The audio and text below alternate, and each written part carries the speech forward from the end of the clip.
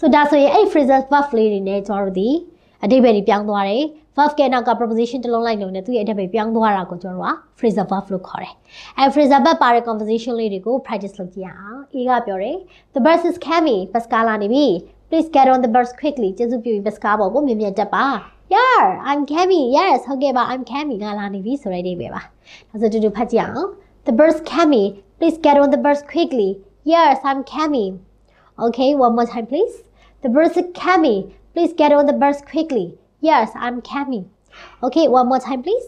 the bus coming please get on the bus quickly yes i'm coming get here is the another conversation အေးကပြောလိုက်တယ် Did you meet with Susan yesterday မနေ့က Miss Susan နဲ့တွေ့ခဲ့လားတဲ့ No we didn't ဟဲငါတို့မတွေ့ခဲ့ဘူး She didn't go in သူမကလည်းထဲကိုဝင်မလာခဲ့သလို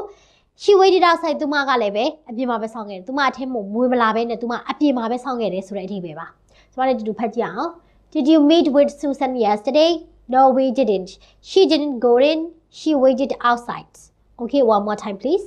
Did you meet with Susan yesterday No we didn't She didn't go in She waited outside. Okay, one more time, please.